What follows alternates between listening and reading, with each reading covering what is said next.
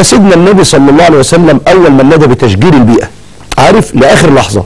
قال رسول الله صلى الله عليه وسلم في الحديث الصحيح إذا قامت الساعة. يلا يا عم. إذا إيه؟ قامت الساعة. يعني القيامة قامت. يعني خلاص خلصت. قضي الأمر. نعمل يا رسول الله؟ قال إذا قامت الساعة وفي يد أحدكم فسيلة.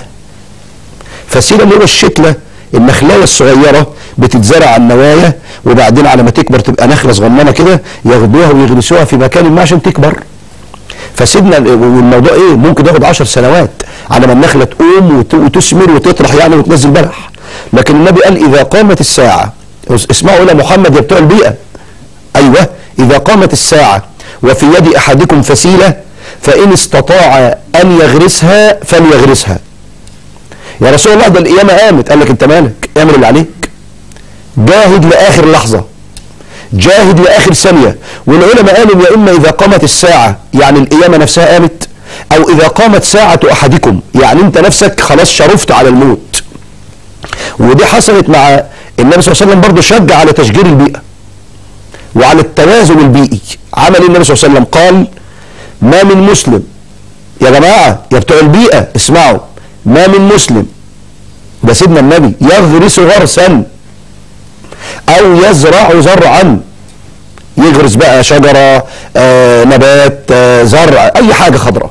ما من مسلم يغرس غرسا أو يزرع زرعا فيأكل منه إنسان أو حيوان أو نبات إلا كان له به صدقة. سلام على الجمال. شوفوا ديننا.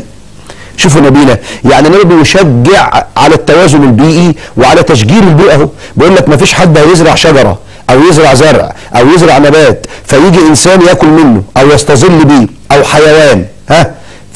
فيأكل منه إنسان أو حيوان إلا كان له به إيه؟ صدقة. بأبي أنت وأمي يا سيدي يا رسول الله. وزي النبي ما شجع على تشجير البيئة يا بتوع البيئة. سيدنا النبي برضه نهى عن قطع الأشجار وعن تعرية البيئة. يعني هو دعا للنظام البيئي.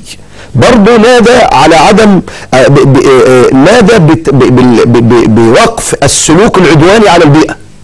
قال صلى الله عليه وسلم من قطع شجرة من قطع ها شجرة يستظل بها الناس ظلما من قطع شجرة يستظل بها الناس.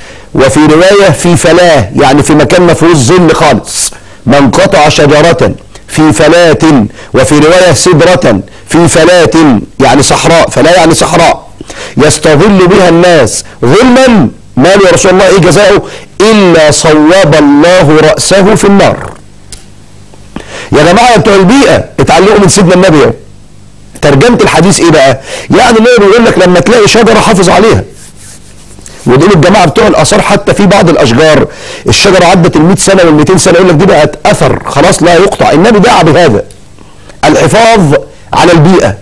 قال ما تقطعش شجرة يستظل بها الناس واللي هيقطع شجرة يستظل بها الناس. ظلما وعدوانا صوب الله رأسه في النار. إيه رأيك في سيدنا النبي محمد؟ هذا هو محمد. يا ريت تسمعوا وده اللي حصل التشجيع على التشجير. وعلاقة النبي صلى الله عليه وسلم بالبيئة.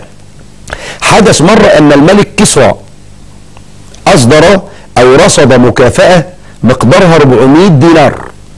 400 دينار لمن ينطق بكلمة طيبة اللي يقول حكمة كويسة. أيوه. أو يقول معلومة قيمة أو يقول جملة مفيدة كلمة كده أو كلمة طيبة يعني له